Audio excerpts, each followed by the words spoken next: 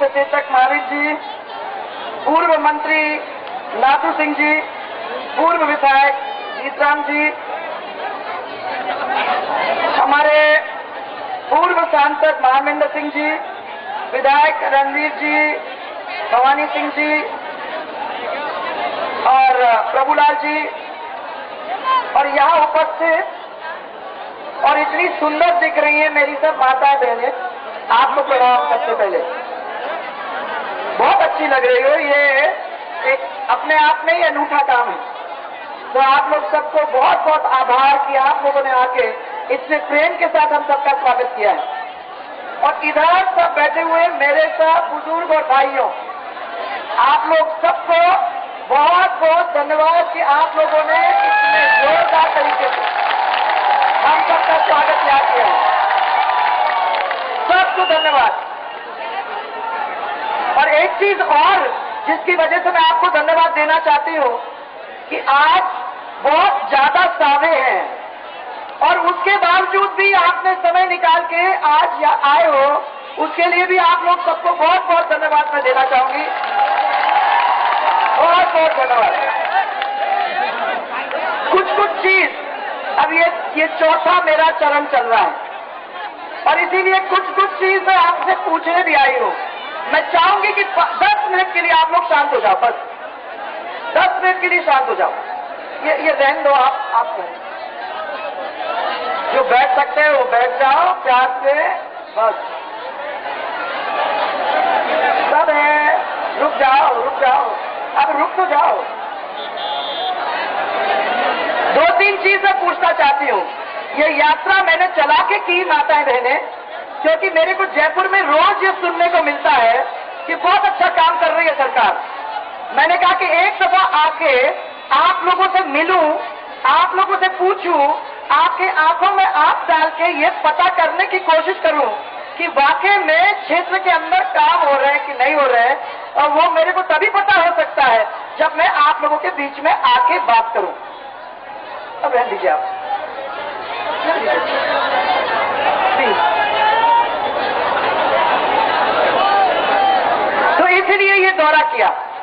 अब आपके क्षेत्र के आने के बाद मुझे ये मालूम हुआ कि जिला मुख्यालय होने के बावजूद भी पेयजल की जोरदार आपके यहाँ किल्लत है। क्या ये सही है? एक मैंने इतना बड़ा शहर, टोंक जैसा शहर। भैया ऐसा मत जिला मुख्यालय होने के बावजूद भी एक दिन छोड़कर एक दिन सप्लाई ऐसा भी हो सकता है। जयपुर को पानी पिलाने वाले लोग और आपको एक दिन छोड़ के एक दिन पानी का सप्लाई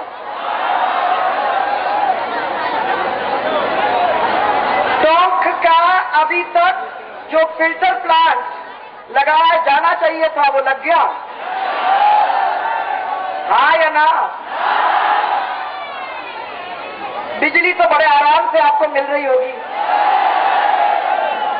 अब हमारे समय में हमने ये इंतज़ाम किया था कि किसान की बिजली अलग से जाएगी तो महिलाओं के एक अलग लाइन।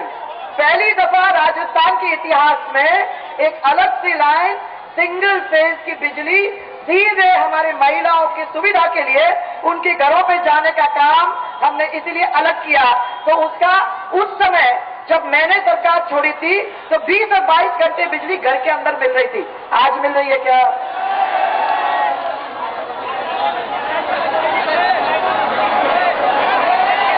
घंटा घर में लाइट नहीं थी, जिनके घर में लाइट नहीं है। मैं तो कह रही हूँ कि जिनके घरों में लाइट नहीं है, आठ और दस घंटे लाइट बड़ी मुश्किल से अब आपको मिल रही है। और किसानों को तो सही तरीके से किसी तरह से लाइट मिलती नहीं है। ऐसी स्थिति के अंदर अघोषित कटौती शहर के अंदर हो रही है क्या ये सही है? अगर ट्रांसफार्मर जल जाते हैं तो किसान भाइयों ने मुझे ये कहा कि बहत्तर घंटे में अब हमको नहीं मिलते। इसको कभी कभी दो महीने लग जाते हैं और अगर आता भी है वापस तो जब तक हम रिश्वत नहीं देते, तब तक काम हमारा पूरा नहीं होता है। क्या ये भी सही है? अब आ जाओ अपन। जिला अस्पताल के ऊपर। आपका जिला अस्पताल आपके विधायक और चिकित्सा मंत्री की लड़ाई के शिकार बन गया है। सही है ये? अस्पताल में 18 से साल है, पर कितने डॉक्टर? खाली चार या तीन डॉक्टर है, तीन। खाली तीन डॉक्टर, जहाँ 18 डॉक्टर होने चाहिए, वह तीन डॉक्टर आपके हैं। और वार्ड बदबू मार रहा है। जो वार्ड में चले जाओ तो वार्डों में बदबू आ रही है और जाँच उपकरणों का टोटल अभाव। आपको जाँच कराना है तो आप यहाँ नहीं करा सकते, आपको जयपुर जाना पड़ेगा उसके लिए। क्षेत्र का जो नहरी तंत्र है, वो पूरी तरह से विफल है और तेल वालों को भारी परेशानी, क्योंकि उनके पास पानी नहीं आता है। क्या ये सही है? ये भी सही है। टोंक के सौंदर्यकरण के नाम पर पूरी तरह से फिजूल खर्ची। गौरव पथ का निर्माण किया और छह महीने में उखड़ के उसकी हालत खराब हो गई और अब फिर से सीसी रोड बनाने का काम चालू किया है। क्या ये सही है? अब आप बताओ मैं कि सरकारी योजनाओं का कैसा बदहाल है? सरकारी योजना कैसे कागज़ के ऊपर रहते हैं? उसका उदाहरण आपके सामने है। श्रमिकों की, पुत्रियों के विवाह के लिए इक्यावन हज़ार रुपए देने की योजना में 300 आवेदन आए थे। अनुदान मिला एक ही व्यक्ति को, एक ही आवेदक को। क्या आपको मालूम है? आपको मालूम है यहाँ? एक ही आवेदक, मैंने 300 को मिलना था, उसमें एक ही आवेदक को मिला है। शर्म आनी चाहिए। तो ये स्कीम बनाने का मतलब ही क्या है? मतलब ही नहीं है। मैं तो ये कहना चाह रही हूँ आपको। अजमेर तक की रेल लाइन, अब आ जाओ उससे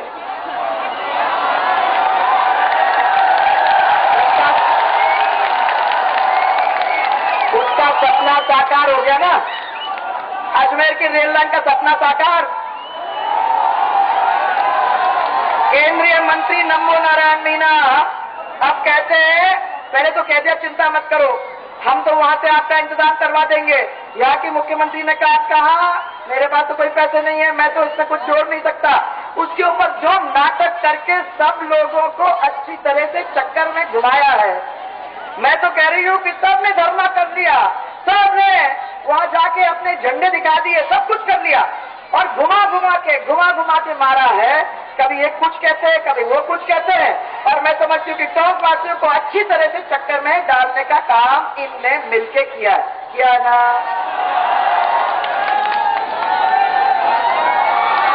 मैं भी उस पर आ रही हूँ। अल्पसंख्यकों की योजना तो सिर्फ़ नाम नाम पे ही है। बजट लैप्स होने की जोरदार शिकायत है। ये अल्पसंख्यक समुदाय को जानकारी है कि नहीं? पूरी तरह से है। श्रमिक वर्ग बड़े तादाद में यहाँ अपने टोंक में है। उसके बावजूद भी लेबर कमिश्नर का पद लंबे समय से खाली है। और फिर आपका विधायक तो आपकी सब जन समस्याओं को सुन सुन के अपना काम करा देती है ना?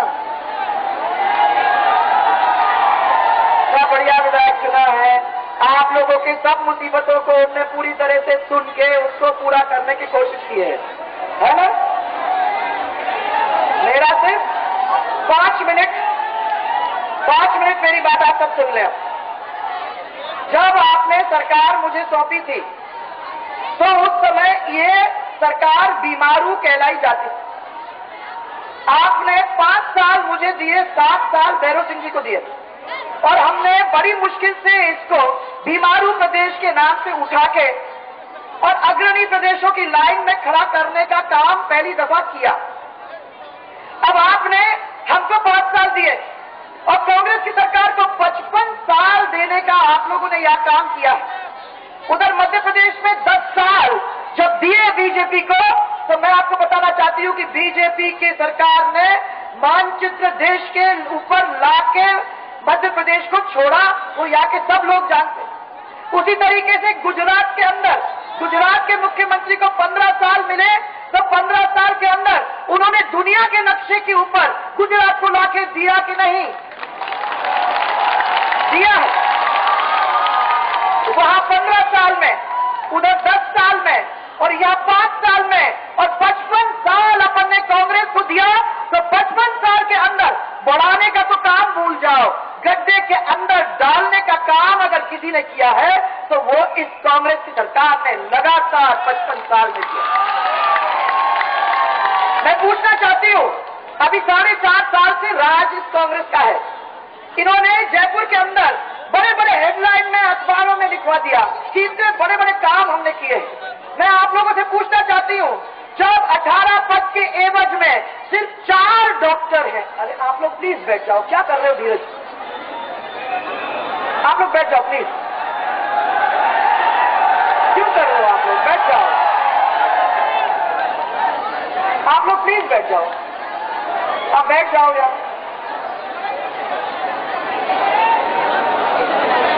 मैंने जब देखा बड़े हेडलाइन बड़े हेडलाइन के अंदर ये लिखा है कि हम लोगों ने बहुत अच्छा काम किया है क्षेत्रों के अंदर। तो क्या काम किया है? आपके अस्पताल में 18 डॉक्टर होने चाहिए। वहाँ सिर्फ़ चार डॉक्टर हैं। और मैं आपको कहना चाहती हूँ कि इनने कह दिया कि हमने फ्री दवाई दे दी और हमने फ्री जाँच भी कर दी। या कोई है जिसने फ्री जाँच और फ्री दवाई पाई? जयपुर में चले जाओ तो जयपुर के अखबार में तो अच्छी तरह से लिखा है कि यहाँ बहुत सब दूर फ्री जाँच फ्री दवाई मिल रही। या कोई है जिसको एक किलो के हिसाब से गेहूँ मिला है? अरे एक तो होगा कोई। कोई नहीं है। या कोई है जिसको मकान बनाने के लिए कोई भी बीपीएल परिवार, जिसको पचास हज़ार रुपए पूरे मिले हैं। क्योंकि बीपीएल के परिवार के लोगों को पैसा तो मिलता है, परंतु उसमें दस बारह हज़ार रुपया काट के मिलता है। तो किसी को तीस हज़ार मिल गया तो किसी को चालीस हज़ार मिल गया, परंतु पूरे पचास हज़ार किसी को नहीं मिले हैं आज तक, ये मैं जानती हूँ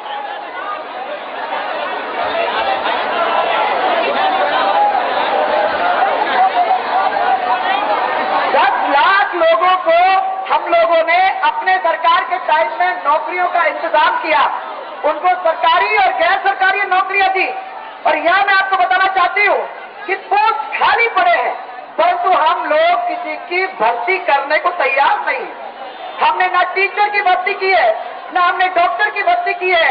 कर्मचारी के पद खाली पड़े हुए हैं और हम भर्ती करने को तैयार नहीं है। मैं आपको ये पूछना चाहती हूँ कि महँगाई भ्रष्टाचार इन सब चीज़ों के अंदर पूरा प्रदेश घूम रहा है, परंतु कोई इसकी मदद करने की तैयारी नहीं है। तो सरकार आराम में साढ़े चार साल से बैठ के अब आप लोगों के बीच में आने की तैयारी कर रही सीबीआई का नाम, जब आप कोई सुनोगे नहीं तो सीबीआई का नाम आ गया। इनने कह दिया कि आपको हम डराएँगे, धमकाएँगे, और कुछ नहीं तो सीबीआई को आगे लाएँगे। कि सीबीआई कभी किसी को बंद कर देती है, कभी किसी को धमका देती है और अभी आप देख रहे हो, गुलाब जी जैसे एक नेक और अच्छे इंसान के पीछे तो किस तरीके से वो सीबीआई को पड़ा है? आप लोग सब जानते हैं कि इस व्यक्ति के पीछे वो तो मेरे साथ चलने वाले थे। इनने दौरा मेरे साथ किया हुआ था। पूरे क्षेत्र के अंदर जब उनको लगा कि ये यात्रा अच्छी तरह से निकल रही है तो इस यात्रा को डिस्टर्ब करने के लिए सीबीआई के द्वारा उनके ऊपर इन लोगों ने पूरी तरह से करने की कोशिश की। ये भी कांग्रेसी हाथ। कांग्रेसी हाथ जनता के साथ। सबसे पड़े हुए हैं। जाने दो विचारों को। आप लोग तो बैठ जाओ आप लोग तो यहाँ से तो आने वाला नहीं। इनकी आदत है, ये करेंगे। इनकी आदत है, ये करेंगे। अपनी आदत नहीं है, अपन अपने हिसाब से अपना काम करें। आप चिंता मत करो। तो कुछ भी। जनता के सरकार के पास हमने पाँच साल दिए थे। आप लोगों ने सरकार चुनी थी पाँच साल के लिए, ना कि साढ़े छह महीने के लिए। मैं आप लोगों को यह कहना चाहूँगी कि एक हज़ार सदस्यों के अंदर पैरा टीचर नहीं है। सरकार अल्पसंख्यकों की हिस्सी बात करती है। आपको ये मालूम होना चाहिए कि इस तरीके से अगर उन्होंने कर लिया होता तो आज कितने टीचर कितने पैरा टीचर ये सब हो जाते तो सब लोगों को उसका फ़ायदा मिल जाता। एक लाख चौदह हज़ार अध्यापक नहीं, और सरकार अच्छी शिक्षा की बात करे तो हमारे बच्चे आगे चल के नौकरी कैसे पाएँगे, ये हम पूछना चाहते हैं। ये पिछले चार, साढ़े चार साल के अंदर सिर्फ़ पचास हज़ार से कम नौकरियाँ बच्चों को मिली। मैं सबको कहना चाहती हूँ कि सरकार की ज़िम्मेदारी है कि वो आपको बिजली दे, वो आपको पानी पहुँचाए, वो आपको सड़कों का इंतज़ाम करे, वो वहाँ यहाँ निवेश करवाने की कोशिश करे। ये टीचर, डॉक्टर, इन सब लोगों को तैयार रखे ताकि इलाके के अंदर कम से कम लोगों को नुकसान पहुँचे। परंतु इस सरकार ने बिल्कुल ही कोशिश नहीं की है। और अब चार महीने पहले आप लोगों के बीच में आके रेवड़ी बांटने का काम कर रही है। इनको ये लग रहा है कि सरकार जनता हमारे साथ देने वाली नहीं है। तो इनने ये तय कर लिया कि ठीक है, हम लोगों को डराएँ, धमकाएँ। हम लोगों को एक सफ़र और कुछ नहीं तो रेवड़ी बातें और उनको कहे कि लोग में आ जाओ आपको वोट मिल जाएगा। और मैं ये पूछना चाहती हूँ कि जब हमारी सरकार गई थी तो हम लोगों ने भामाशाह योजना के नाम से एक बहुत बड़ी योजना आपके सामने रखी। ये महिलाओं के लिए योजना थी और इस योजना के अंतर्गत हमने ये तय किया था कि पूरे बीपीएल लघु और समान सीमांत कृषक एससी एसटी इन सब लोगों को हम बैंक के द्वारा लाभान्वित करने की कोशिश करेंगे।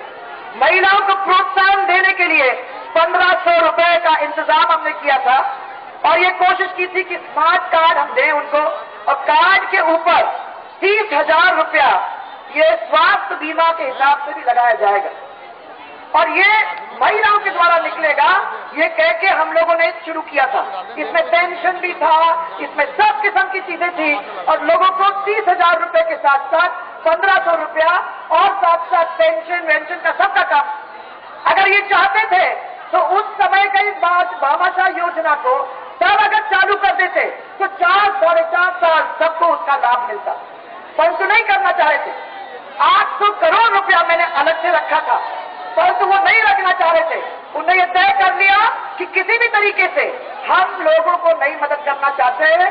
चार साढ़े चार साल नहीं किया और अब आपको कह रहे हैं, रेवड़ी बात बात के सबको कि हम तो इसको भी देंगे, उसको भी देंगे। मैं आप सबको विश्वास दिलाना चाहती हूँ कि ये सरकार पाँच साल की सरकार थी, साढ़े चार महीने की सरकार नहीं थी। और जो सरकार साढ़े चार महीने के अंदर ये काम कर सकती, वो साढ़े चार साल में अगर करके दिखा देती तो मैं समझती कि ऐसे लोगों को हम फिर भी कुर्सी पे ला सकते। माता बहने, मैं आप लोग सबसे ये पता करना चाहती हूँ कि आप लोगों की इज़्ज़त मिट्टी में मिला देने का काम किसने किया है? आज जिस तरीके से चल रहा है नंगा नाच, उसके अंदर महिलाओं के साथ अत्याचार अभी अभी पेपर में देखा हूँ। मैं तो समझती हूँ कि इसमें हंसने की बात नहीं है तो इतना सीरियस मामला है।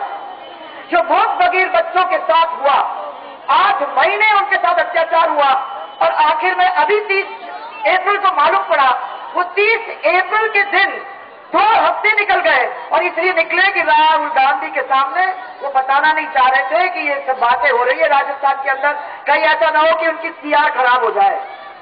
सीआर खराब नहीं हो इसलिए हमारी माता और बहनों की इज़्ज़त लुटे, हमारी बच्चियों की इज़्ज़त लुटे और उसको कोई संभालने वाला नहीं है। मैं समझती हूँ कि जो अपनी बहू की, अपनी बेटी की, अपने परिवार की महिलाओं की इज़्ज़त को संभाल नहीं सकती, ऐसे लोगों को उस कुर्सी पर बैठने का हक नहीं है। उनको चुल्लू पर पानी में डूब के मर जाना चाहिए। ऐसे लोगों को रखने में कोई मतलब नहीं। मैं सब लोगों को ये आगाह कर रही हूँ, सब लोगों को आगाह कर रही हूँ कि इन्होंने जिस तरीके से राजस्थान को कलंकित किया है, जिस तरीके से हमारे स्वाभिमान और इज़्ज़त के साथ खिलवाड़ किया है, मैं ये बताना चाहती हूँ कि जब भी समय आता है तो कांग्रेस हम लोगों को लड़वा लड़वा के और अपने वोट कायम कर लेती है। आप लोगों को सबको मालूम है कि इन्होंने कह दिया कि हमारे जेब के वोट है एससी और एसटी। कहा जाएँगे? इन्होंने कह दिया कि मुसलमान कहा जाएँगे तो हमारे जेब के वोट है। आखिर में भाजपा खा जाएगी। डरा दो उनको। अब मैं सबको यह कहना चाहती हूँ कि हमारे वोट हमारे इज़्ज़त के वोट हैं। हमारे स्वाभिमान के वोट हैं। और राजस्थान के लोग इतने स्वाभिमानी हैं, भूखे सो जाएँगे, परंतु अपने इज़्ज़त और अपने स्वाभिमान के साथ कभी किसी को खिलवाड़ नहीं करने देंगे। तो चाहे वो किसी भी जाति का है, चाहे वो किसी भी मदद का है, सबको अपनी इज़्ज़त प्यारी है। और कोई भी इस तरीके से किसी का बंद हुआ मजदूर नहीं है। काम करोगे तो हमारे वोट पाओगे और काम नहीं करोगे तो हम भी उस कुर्सी से आपको उतार के नीचे लाएँगे। इतना भी ताकत हमारे हाथों में है। और मैं सबको आज यही कहने जा रही हूँ, फिर से ही आपके बीच में आएँगे। छह महीने बाकी हैं तो सबको लड़ाएँगे। सब लोगों को फिर से मदद के बीच में उनकी भी लड़ाइयाँ करवाएँगे। परंतु हमने राजस्थान के अंदर ये कहा है, भारतीय जनता पार्टी ने ये कहा है। कि अगर विकास करना है तो उसमें एक ही रास्ता है। कोई झगड़ा करके विकास नहीं कर सकता, क्योंकि अगर रोड या पानी लगेगा, या बिजली आएगी तो सबके लिए आएगी। किसी एक मज़हब या एक जात के लिए नहीं। इसीलिए ज़रूरी है कि हमारे बीच की दीवारों को हम खत्म करें। ये ज़रूरी है कि एक परिवार के रूप में छत्तीस के छत्तीस को हम चल पड़े, उनके साथ सब मज़हब जुड़े और एक प्यार के रास्ते में हम लोग सब निकल पड़ेंगे तो कोई ऐसा नहीं है जो हमारे विकास के रस्ते को अवरुद्ध कर सकता है। हमारा विकास होगा होगा हो, बिल्कुल आपको कहने की ज़रूरत नहीं बिल्कुल होगा। ये मैं आप सबको विश्वास रहना चाहती हूँ। अब हमें अगर विकास करवाना है अगर एक ऐसा नया राजस्थान हमें बनाना है जिस नए राजस्थान के अंदर हमारे बच्चे अपने पैर पे खड़े होके अब उनको रोज़गार मिले और वो आगे बढ़ सके एक ऐसा राजस्थान जिसके अंदर हमारी महिलाएँ अपना सिर ऊँचा करके इज़्ज़त के साथ चल सके। एक ऐसा राजस्थान जिसके अंदर हमारा किसान मज़बूत हो और उसको समय पे बिजली मिले, उसको समय पे पानी मिले, खाद, बीज और सही बीज उसको समय पे मिले और जब वो जाता है फ़सल लेके तो उस फ़सल के अच्छे मूल्य मिले। एक ऐसी स्थिति होती है तो मैं समझती हूँ कि वो मज़बूत होता है। यहाँ तो हमें ये बोला जाता है कि अगर किसान के साथ कोई बात होती है, अगर पाला पड़ जाता है या फ़सल खराब हो जाता है तो हम मुआवजा देंगे। मैंने सब दूर पता किया, आज तक। और मैं तीन संभाग से निकल के आ रही हूँ। कहीं भी एक किसान ने नहीं कहा कि हमारे यहाँ पाला पड़ने के बाद, खराबा होने के बाद हमको मुआवजे का कोई इंतज़ाम हुआ। आपको किसी को मिला है? कोई भी किसान यहाँ है जिसको मिला है? मैं नहीं समझती हूँ, किसी भी किसान को मिला है। और मैं ये कहना चाहती हूँ कि हमें वो मज़बूत किसान चाहिए जो समय पे अपना काम कर सकता है, जिसको कहीं किसी के सामने गिड़ गिड़ाने की ज़रूरत नहीं है। एक ऐसा नया राजस्थान बने, जिसके अंदर हम अपना सिर ऊँचा करके चल सके। हमारे बच्चों को पलायन करने की ज़रूरत नहीं हो। उसको कहीं दूसरे प्रदेश में जाके नौकरी ढूँढने की ज़रूरत नहीं हो।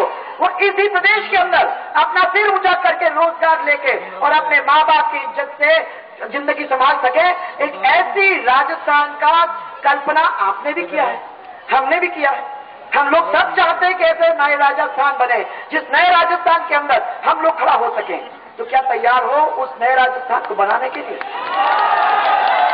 आपके बीच में ये आएँगे और आपको डराएँगे और धमकाएँगे और लुभाएँगे। चुनाव का टाइम आ जाता है तो उस समय बहुत सारी बातें करेंगे। परंतु आप क्या तैयार हो इस लड़ाई को लड़ने के लिए? और हमारी राय, हमारी जो इज़्ज़त है, और हमारी स्वाभिमान की लड़ाई लड़ने के लिए? आप तैयार हो? अगर आप लोग सब तैयार हो तो दोनों हाथ ऊपर करके मेरे को बताओ कि आने वाले समय के अंदर हमें बदलाव लाना है। हम लोग मिलके इस बदलाव लाने के लिए तैयार हैं। और हम सबको कहना चाहते हैं, खाली टोंक के अंदर नहीं, ये पूरे राजस्थान के अंदर हवा है। जिस हवा के अंदर चाहे वो बच्चे हो, चाहे महिला हो, चाहे वृद्ध हो, चाहे हमारे व्यापारी क्यों ना हो और किसान क्यों ना हो। अरे व्यापारियों के साथ शुद्ध पे युद्ध कितना हो रहा है? युद्ध पे शुद्ध। युद्ध पे शुद्ध और शुद्ध पे युद्ध। हो रहा है ना? कितना हो चुका, कितनों को दुखी कर दिया। और कौन क्या खा रहा है? कितना शुद्ध है, ये अपने को सबको मालूम है कि नहीं मालूम? सब जानते हैं। इसलिए आज अगर वो बदलाव करना है तो हम लोगों को ये तय कर लेना है कि हमने पचपन साल मौका दिया। और पचपन साल के बाद आज हम लोगों ने तय किया कि पूरा परिवार एक होकर चलेगा और राजस्थान को ऊँचे दर्जे में पहुँचाने का काम करेगा। जिस तरीके से गुजरात में हुआ है, जिस तरीके मध्य प्रदेश में हुआ है वैसे राजस्थान भी कर सकता है। आप लोगों को खाली तय करने की ज़रूरत है। तो तय अगर हमने कर दिया तो एक जोरदार नारा मेरे साथ। भारतीय जनता पार्टी। भारतीय जनता पार्टी।